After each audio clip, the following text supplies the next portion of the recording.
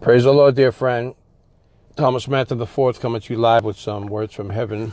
And feeling a very strong anointing to prophesy, to release words from heaven. I'm continuing in the money series, prophesying money, resources, and money's resources and relationships into your world. Because I think that's what you need more than anything right now based on everything that's been going on. Um, Amos 3 7 says, Surely the Lord God does nothing unless he first reveals his secret to his servant the prophet. A lion has roared, who will not fear? We are the lions, not them. Always remember that. I prophesy to you again that the, they keep extending the lockdown, thinking they're doing something, but heaven is coming after them to break this thing, says the Lord. I am going to break this thing, and I'm going to let my people go free. I've not called and ordained them to stay in their houses, not called and ordained them to stay in their out of their work, out of their business life. It's the plan of the enemy to destroy economies and to hurt people. There were plagues before, endlessly in every century, every generation or so, and you never heard of such a thing before. And they went from one to the other. Wow. Ooh, glory. I just love this. They went from one to the other, the lockdown to the now the riots and destruction if you can't see this thing hasn't been planned, then you know I don't know. You know,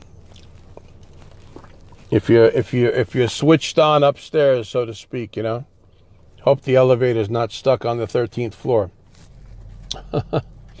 as they say. The lights are on, but no one's home. Ooh, are you there?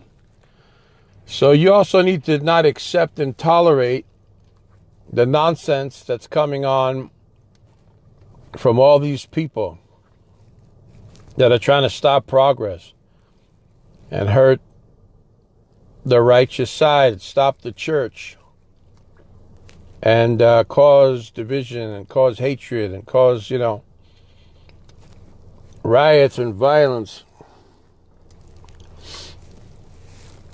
That the Lord says, Get ready, my people.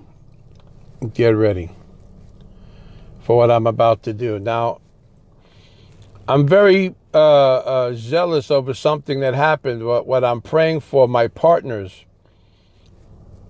And I want to see you blessed. Now, this is not for someone who thinks they know me, but yet they're not really a friend. Or they want to be critical or look at me from afar and think they know me and but yet we don't hear from them. They're not connected. They're not showing uh, a connection. So I say this is not for you. Then there's people that are, are takers. They're just there to take. They're not there to give. They give nothing. We know them. I wouldn't also say that that one is a partner. Maybe they think they have a relationship, but it's based on taking something, not giving something. The nature of God is to give. Someone says, Well, I don't have a lot to give. Well, yes, you do. You have your heart and you have your mind. You may not have money.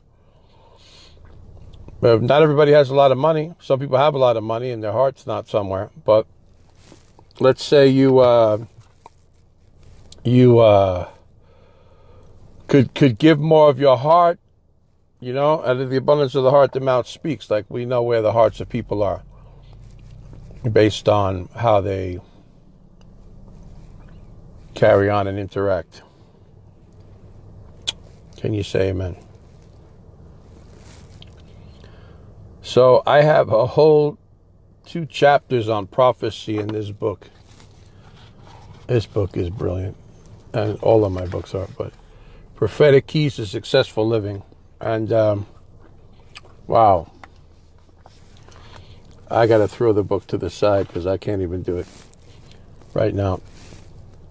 To teach, I, I feel like I want to say a few things now. The other night, a couple of nights ago, I had a, an amazing visitation from the Lord.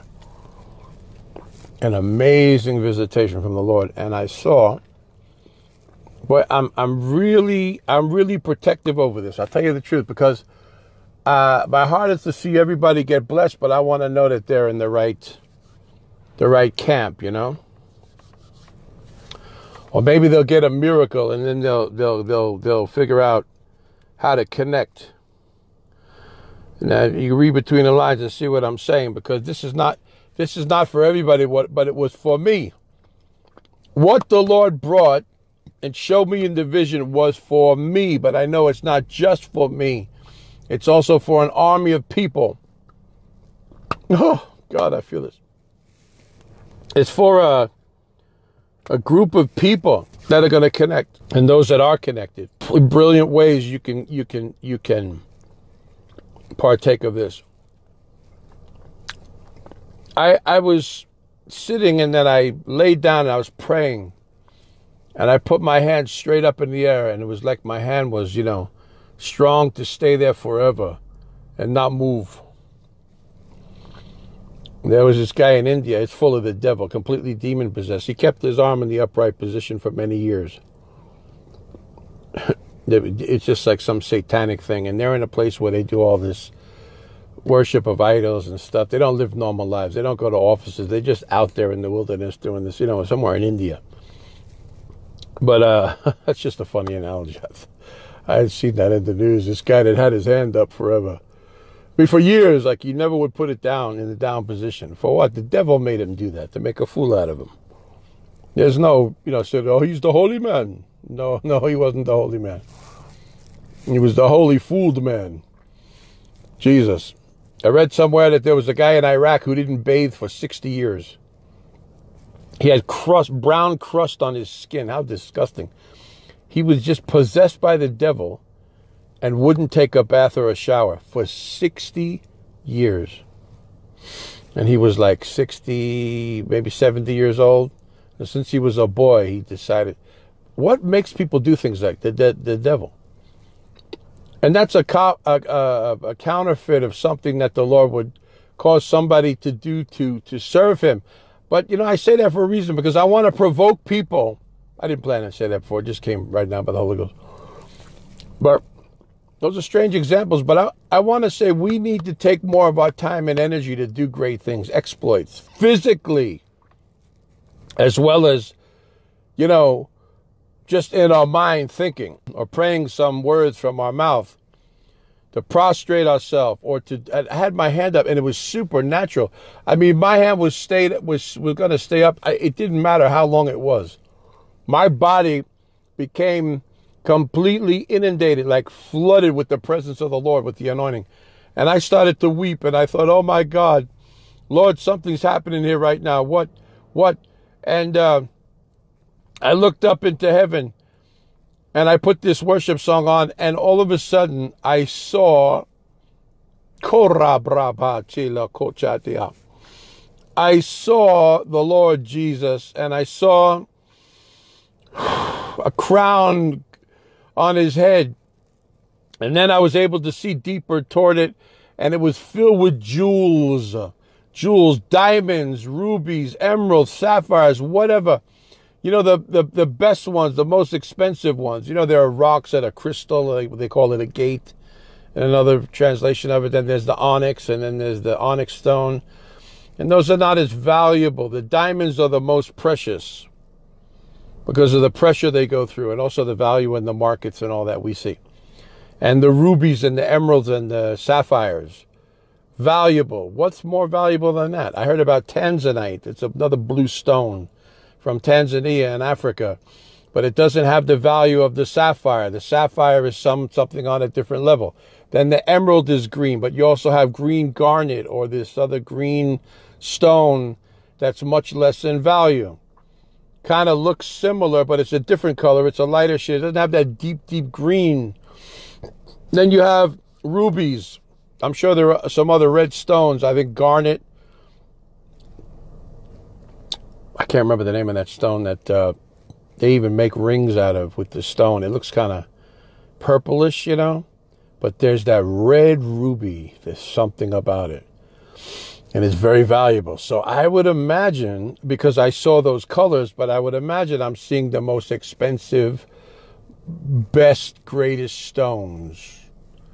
And um, the Lord then began to like shine. He had an expression on his face and he he looked so so excited. He and it was so much power, like lightning, like dynamite, explosive, like fire. Like you you can't explain the realm of power. My God, I feel the anointing of this is powerful. Receive it right now, especially partners. I, I mean, I'll throw this out to everybody. Y'all can get blessed and tap the grace. But don't think that you you're going to be a nominal person and not in the real flow of things you get me? And uh, get everything that God has. But something amazing happened, and I have to tell you what happened next. The jewels began to multiply from the crown, not like they would like grow, but they were there from somewhere, and they began to pour from his head. Jesus, they began to pour and there was so much power in the atmosphere. I can't explain it. If you've ever felt the power of God or seen the power of God, power of God move where someone could pray for someone and they'll fall to the floor or they'll shake or they'll begin to scream or shout. The presence of God is there. That is like one trillionth of one percent less. I mean, compared to what I was seeing happening in heaven. And the Lord, and the jewels begin to pour from his crown and I and I had my hand up. One hand was up, and it was just up in the position of worship. And then I just took my other hand and I began to. Then I tried to put them together, and I was like, uh, like Lord, my my bags, my accounts, my pockets, my house, my my offices, my physical places, any vaults or safes or any place, kind of thing. Just fill them with this. I receive it because the Lord showed it to me, He's given me, and it was jewels pouring down from His crown down upon me. My God, there's an anointing for wealth creation, for prosperity, for breakthrough, for abundance. I'm telling you, it's so powerful. My God. And uh, let me make this uh, a part three in that in that uh, segment I was doing about I'm prophesying monies, jewels, if you want to, fine, commodities, uh, uh, and and and and resources, which is all of this, and relationships, things that you need to happen right now in your life especially you as my partner. I want to throw the call out right now for many more people to partner with me. Why? Why? Because of this. Yes, we have need for the world missions and for our administration and our media and all the things we're we're getting for that and the new studio and and and premises and all that and all the people we we we bring on to work for us and all that. Sure and, and things like that to take care of that. But I, I want to go a step higher than that. I want you to partner with this glory that I saw the Lord Jesus pouring jewels down upon me. It's upon me. It was coming direct to me. And then, of course, I'll have too much because they kept pouring in the vision and they wouldn't stop. And I'm weeping and I'm feeling the glory cover me from head to toe, even beyond where my head is and my feet is and my arms can go out and the, the, the, the dimensions of my physical frame. It was like beyond like the cloud was covering me and I was seeing this and I was weeping and I was crying and I was rejoicing and I was worshiping and I was thanking God and I was receiving saying I receive I receive I receive. And they were coming down and there were too many to count too many to hold. And finally the vision ended after a while and it was still pouring. And I believe right now there's an anointing of overflow coming right now. You need to tap this grace. Even if I never knew you before I welcome you to this. I wasn't saying like nobody could be a part of this. You know you can. But please have a beautiful heart to be a giver. Have a beautiful heart to be a partaker of the grace. Find a way to tap the grace. Don't just be like, you know, well, I'm just here to take something and give you. No, no, no, no, no, no, no. Tap into the grace.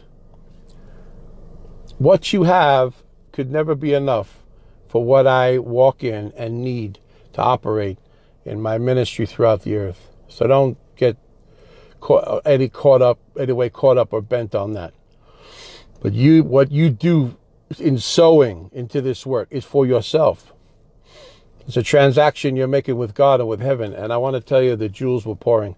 There were diamonds, there were rubies, there were emeralds, there were sapphires, They were beautiful and they were coming down, countless.